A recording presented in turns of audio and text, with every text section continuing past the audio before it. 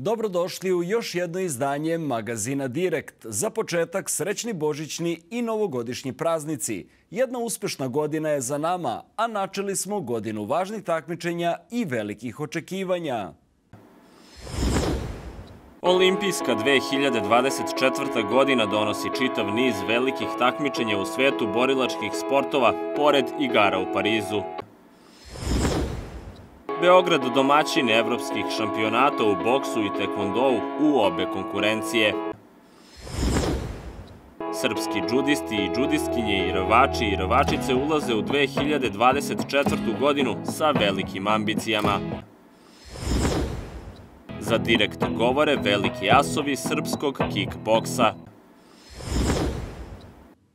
Boks, plemenita veština i decenijama jedan od najpopularnijih sportova u Srbiji, ponovo donosi medalje. Ove godine biće novih prilika da se odličija osvoje na velikim takmičenjima, a olimpijski tim Srbije već sada znamo jači je nego ikada. Verujemo da može da bude i brojniji.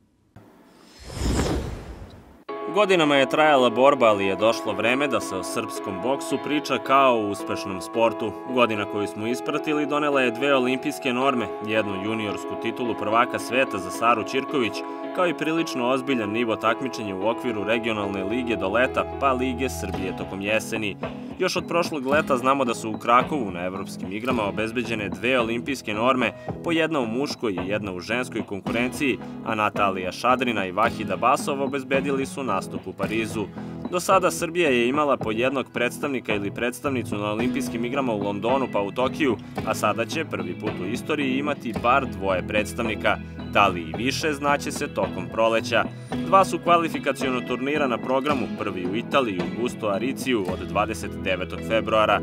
Sa njega će mesto na olimpijskom turniru obezbediti svi polufinalisti u sedam olimpijskih kategorija kod muškaraca, kod žena će u nekim kategorijama biti po četiri olimpijske norme, u nekim dve ili tri. Pored Šadrine nastupu u Parizu kroz kvalifikacije nadaju se i svetska i evropska juniorska šampionka Sara Ćirković, prvakinje Balkana Nina Radovanović i Milana Matović, evropska profi šampionka Jelena Janićijević, a selektor ženske boks reprezentacije Milan Štralo odredit će tim koji će Srbiju predstavljati na turniru u Italiji, a posle toga i na Tajlandu gde je drugi krug kvalifikacija zakazan za kraj maja. Kod muškaraca normu ima Abasova spisak onih koji bi mogli da dobiju priliku u kvalifikacijama je znatno duži. Još je rano za priču o sastavu tima, ali je jasno da je možda najozbiljniji kandidat Vladimir Mirončikov, osvajač bronzane medalje na svetskom prvenstvu u Beogradu 2022. kao i osvajač zlata na letošnjem Evrokupu. Pored dva kvalifikaciona turnira koji će svakako izazvati puno pažnje, veliki događaj u svetu boksa je i šampionat Evrope koji će od 15. do 29. aprila organizovati Beograd. Do sada se nije dešavalo da jedan grad dočeka najbolje bokserke i boksere, pa će ovo biti i najbrojnije prvenstvo Evrope do sada, a na njemu će bokserke i bokseri Srbije pokušati da dođu do najboljeg rezultata do sada. Na prethodnom šampionatu muškaraca 2022. godine zlatne medalje osvojili su Abasov i Agejev, na poslednjem šampionatu žena Jelena Janićijević je osvojila bronzu, prvo odličije za Srbiju do sada. Za razliku od prethodne dve, ova godina neće doneti svetsko prvenstvo u rvanju u Beogradu, ali hoće neka važna takmičenja i još jedan olimpijski turnir koji bi mogao da bude prilika da trofejni sport nastavi niz. Svetski šampion Stevan Mićić izabran je za najboljeg rvača Srbije u 2023. godini. Odlučeno je na sednici Upravnog odbora Saveza. Mićić je na svetskom prvenstvu u Beogradu osvojio zlatnu medalju slobodnim stilom u kategoriji do 57 kg. Bila je to prva titula svetskog prvaka u slobodnom stilu za Srbiju u istoriji, a Mićić je ovim triumfom obezbedio i plasman na olimpijske igre u Parizu. Najuspešniji klub je Proletar iz Zrenjanina, a za najboljeg trenera imenovan je Vojislav Trajković, član stručnog štaba reprezentacije i trener Zrenjaninaca. Najbolji sudija u protekloj godini je Nemanja Tomića, nagrada za najboljeg sportskog radnika otišla je u ruke Đorđa Kalanovića. Upravni odbor Rvačkog saveza Srbije proglasio je najbolje u svim uzrasnim kategorijama, kao i u ženskom rvanju. U grčko-rimskom stilu najbolji senior je Georgi Tibilov, najbolji rvač do 23 godine Aleksa Ilić, Nagradu za najboljeg do 20 godina zaslužio je Andrija Mihajlović, mladi rvači godine su Stevan Kojić i Balažu i Helji, a najbolji veteran Milan Marić. U konkurenciji žena najuspešnije su Fani Nađ i najbolja seniorka i najbolja mlada seniorka Maša Perović u kategoriji do 20 godina i mlade Evelinu i Helji i Ivana Garić. Ove 2024. godine borba za zvanje najboljeg vodiće se nema dileme na olimpijskim igrama u Parizu, za koje norme do sada imaju svetski šampion Mićić kao i Ketak Cabolov u rvanju slobodnim i Mate Nemeš u rvanju grčko-rimskim stilom. Još po dvojica rvača u svakoj od po šest olimpijskih kategorija kao i po dve rvačice, norme za Pariz mogu da ostvare na evropskim kvalifikacijama koje su na programu u aprilu u Baku, glavnom gradu Azerbejdžana. Dugačak je spisak naših hrvača koji bi mogli da se domognu Pariza. Po plasmanu na rang listama najbliži tom cilju su Georgi Tibilov u kategoriji do 60, Viktor Nemeš do 77 i Mihajl Kadžaja do 97 kg u rvanju grčko-rimskim stilom. Prilika poslednja da se domogne olimpijskih normi biće svetske kvalifikacije od 9. maja u Turskoj. Još jedan važan događaj koji donosi 2024. godina je Evropsko prvenstvo, domaćin je Rumunija, a počinje već 12. februara, čega je tim Srbije skoro ceo decembar proveo na pripremama. Prvi veliki turnir godine je Zagreb Open od 10. januara, a za njega su do sada prijavljeni Tibilov, Nađ, Ilić, Arsalan, Katić, Kadžaja, Vuković i Petrušić u konkurenciji muškaraca i Fani Nađ. Kako danas stvari stoje, Srbija će na judo takmičenjima na olimpijskim igrama u Parizu imati petoro predstavnica i predstavnika. Godina za nama donela je jedno evropsko zlato, a ona koja dolazi mogla bi da bude još bogatija. Najvažniji događaj godine u većini sportova pa i borilačkim su olimpijske igre u Parizu. Petoro predstavnika i predstavnica mogli bismo da imamo u judovu. Trenutno u konkurenciji muškaraca Srbije ima dva sigurna mesta.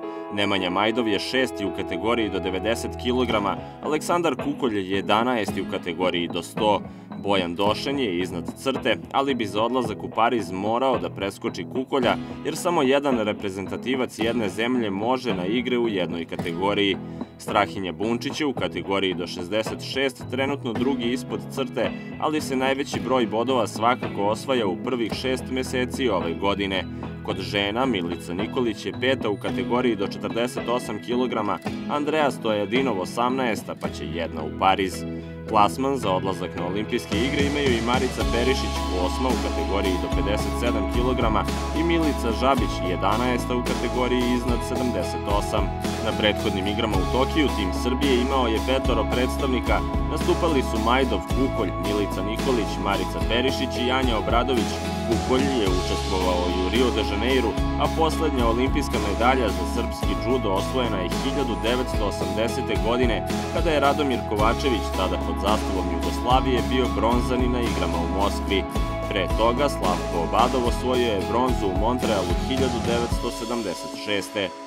Prvi veliki turniri na kojima se osvajaju bodovi su na programu krajem januara i početkom februara. Od 25. februara će u portugalskom Odiveljasu biti održan prvi Grand Prix sezone, a prijavljeno je sedmoro naših džudistkinja i džudista.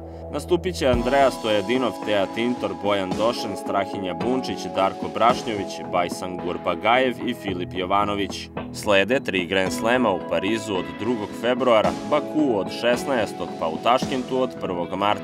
Na svim turnirima će se voditi velika borba za bodove na olimpijskim rang listama, a konačan presek učesnika igara u Parizu biće napravljen tek 25. juna, a posle brojnih aktivnosti sa ciljem da što više zemalja bude zastupljeno na judo turniru, sva imena znaćemo 6. jula, 20 dana pre otvaranja igara. Olimpijski turnir je najvažniji događaj godine, ali džudistkinje i džudisti imaju u 2024. godini i svetsko prvenstvo koje je u drugoj polovini maja na programu u Abu Dhabiju. Aleksandra Perišić nastupit će na olimpijskim igrama. Tim Srbije blistao je na Evropskom prvenstvu u Tekvondou. Sada slede kvalifikacije za odlazak u Pariz, a ostaje nada da će tekvondo ostati sport koji nam baš sa svakih igara donosi medalje.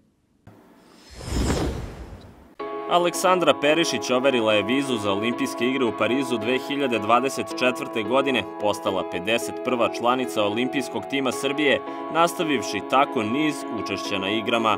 Na prethodna tri izdanja tekvondo je osvojio četiri odličja. Milica Mandić je najtrofejnija srpska sportistkinja svih vremena sa dva olimpijska zlata iz Londona i Tokija, a Tijena Bogdanović donela je sa igara u Riju pa u Tokiju srebro i bronzu.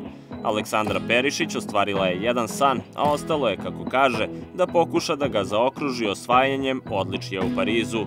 Ostali će morati da se bore za odlazak u Pariz, a posao neće biti ni malo lak. Posle podvlačenje crte na svetskim rang listama sabiranja učinaka na turnirima Grand Slam serije, ostalo je još po 10 mesta u svakoj od olimpijskih kategorija, ali Evropi pripadaju samo po dva mesta pa će kvalifikacioni turnir zakazan za 9. i 10. mart u Sofiji u Bugarskoj biti veoma zahtevan. Pravila kažu da jedna zemlja može da ima samo po dvoje učesnika u obe konkurencije, to znači da će Srbija imati samo jednu predstavnicu u kvalifikacijama žena i dvojicu na turniru muškaraca. Da je Nadica Božanić zdrava, nema sumnje da bi ona pokušala da se domogne Pariza ovako bez Tijane Bogdanović, čini se da je dilema da li će u kategoriji do 57 kg do olimpijske norme pokušati da dođe Nađa Tešić ili Ela Marić. Kod muškaraca će pravo na nastup imati dvojica. Stefan Takov je jedan od njih u kategoriji do 80 kg završio godinu kao šesti na svetskoj rang listi, a petorica su se plasirala na igre. Drugog će odrediti tekvondo asocijacija Srbije, a najbolji plasman na svetskoj rang listi, ne računajući odsutnog Mahtija Hodabakšija, ima Novak Stanić u kategoriji do 68 kg olimpijske kvalifikacije pa olimpijske igre u centru pažnje, ali će Beograd biti centar evropskog tekondoa od 10. do 12. maja, kada će biti domaćin evropskog prvenstva. Kada je kickboks tema, kraj prošle godine doneo je odličan nastup na svetskom prvenstvu. Ova godina biće prilika i za proslavljene da nastave sa velikim rezultatima i za neka nova lica da se afirmišu, a u serijalu intervjua za direkt o svojim počecima, zlatnim danima proboja kickboksa, ali i svom sportu danas pričaju nekadašnji šampioni sad je to sve malo drugačije, malo na višem nivou. Sad postoje i, i takmičenja i za pionire, i za kadete, i za juniore, i za normalno seniore što je uvek bilo. Ja sam počeo da treniram sa 10 godina. Brat i ja, brat imao 7, ja 10. Jedno su nas primili u klub. Boža Tadić, ovaj, tad bio predsednik Ibos kluba ovaj, Zemun, Neca Milošević bio glavni trener, pokojni Mića Marković, Mitković Predrag, pokojni, to su bili treneri onako. I tad se kickboksom bavilo, bavili su odrasli ljudi, da kažem, od maltene od srednje škole pa na gore. Tad, recimo, 92. kickboks klub Crvena zvezda nije postojao. Ja mislim da je jedini 92. klub u, Ze, u, u, u Beogradu, kickboks klub Zemun bio. Ovaj, mi smo otišli prvo u zvezdu, jer smo zvezdaši. Brat ja, otac nas odveo. Ovaj, u stvari, ja sam zvezdaš, ajde i nisu nas primili u Zvezdu jer su tad nije postojao klub. Jednostavno bili su ovi ovaj, iz, iz, iz vojnih nekih formacija imali treninge i spremali se za ratište tada.